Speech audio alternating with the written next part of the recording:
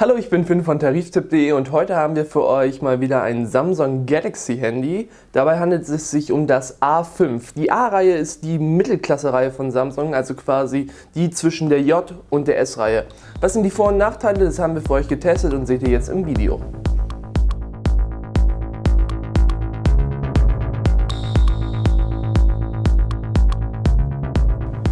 Ja, die A-Reihe von Samsung, die äh, gibt es ja schon ein bisschen länger.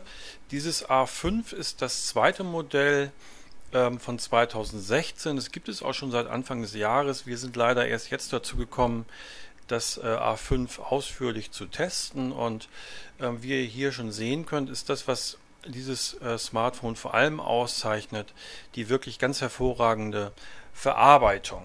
Aber anfangen wollen wir wie immer mit dem Unboxing. Hier seht ihr die Verpackung des Galaxy A5, ganz schlicht in weiß. Und ja, auf der Rückseite sind so ein paar Spezifikationen. Ähm, gehe ich jetzt nicht näher darauf ein, weil wir im Rahmen dieses Videos dann doch noch alles näher kennenlernen werden. Dann wollen wir mal schauen, was sich im Lieferumfang befindet. Hier ist das Smartphone selbst, kann man schon sehen, wirklich sehr, sehr schick äh, mit einem Alurahmen versehen und ein Unibody-Gehäuse. Dann haben wir im Lieferumfang noch wie üblich hier so ein Quick Start Guide, also eine Schnellanleitung und dann ein Stromadapter. Das ist übrigens ein Fast Charge Adapter und ein USB-Kabel und Headsets, die äh, übrigens auch sehr, sehr gut sind.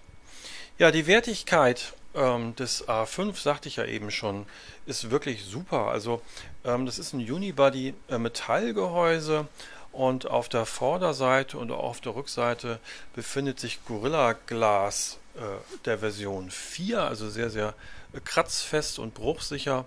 Und ähm, mir hat die Wertigkeit des Galaxy A5 wirklich sensationell äh, gefallen. Ich muss sagen, ich äh, selbst benutze ein S7 Edge privat und von der Wertigkeit her äh, muss ich das A5 da eigentlich überhaupt nicht verstecken.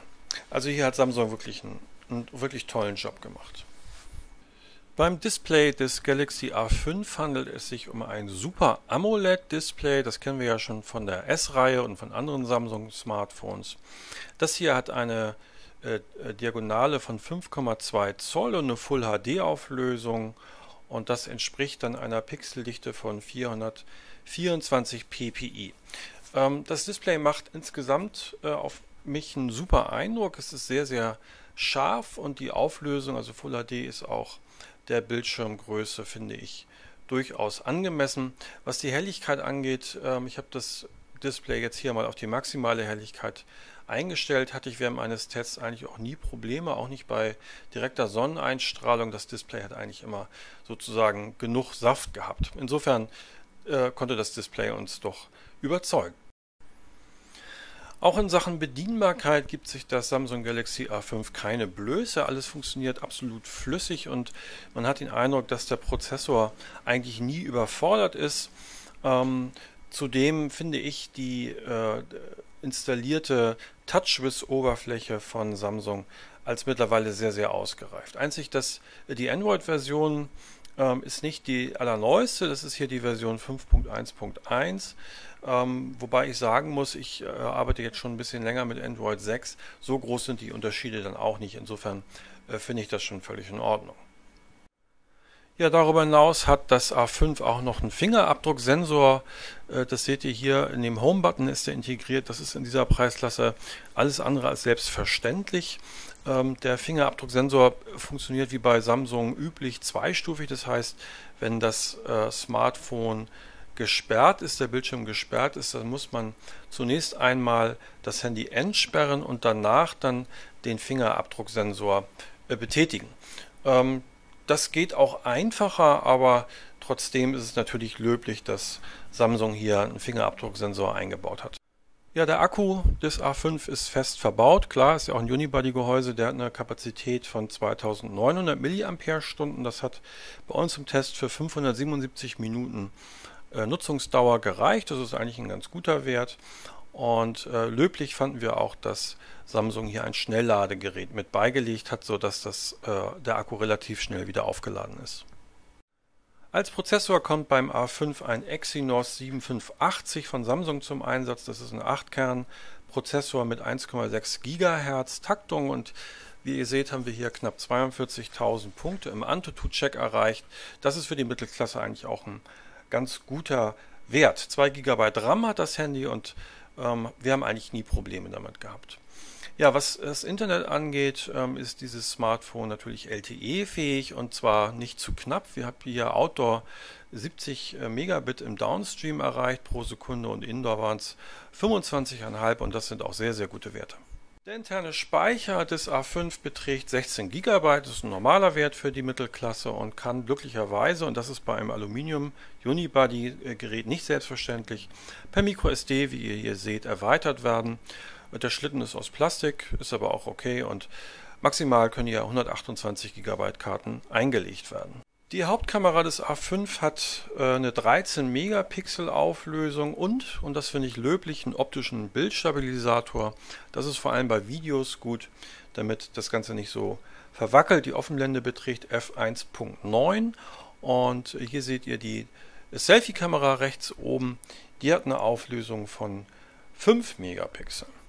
Ja, die Ergebnisse, die schauen wir uns gleich mal an. Wir haben hier wie immer vier Testfotos gemacht. Hier seht ihr die Außenaufnahme, was ich schade finde, das ist aber bei vielen Samsung-Handys so, ist, dass bei voller Auflösung nur das 4 zu 3 Bildformat gewählt werden kann. Auch hier bei der Innenaufnahme ist das der Fall.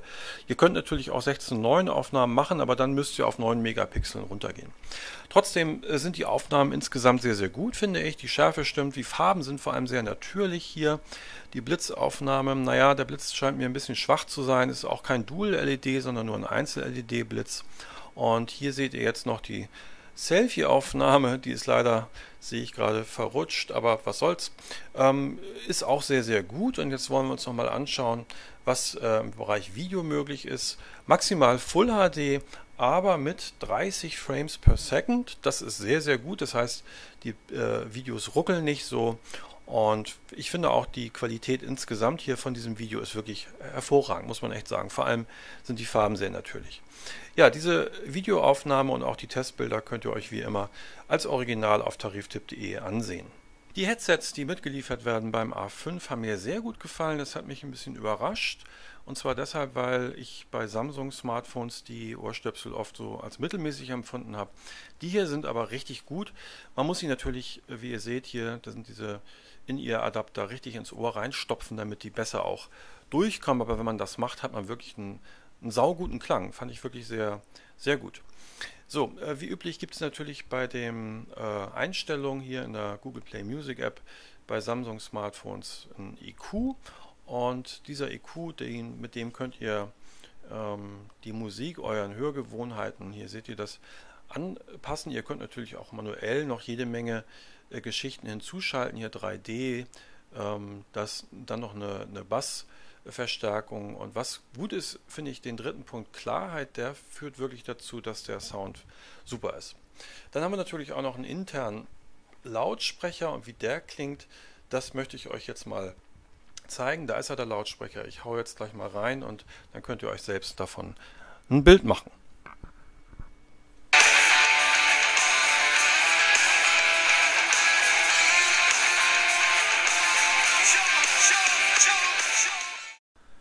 Dann sind wir auch schon wieder beim Fazit des Samsung Galaxy A5. Gut gefallen hat mir vor allem die wirklich tolle Verarbeitung.